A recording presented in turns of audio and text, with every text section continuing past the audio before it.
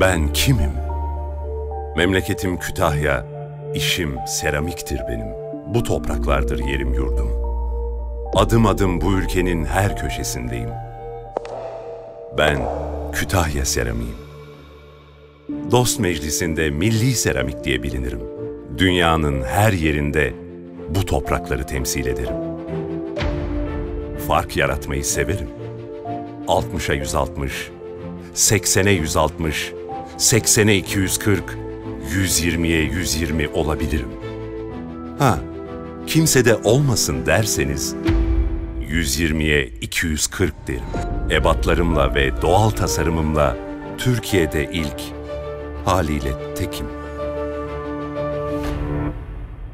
Ben Kütahya seramiğim.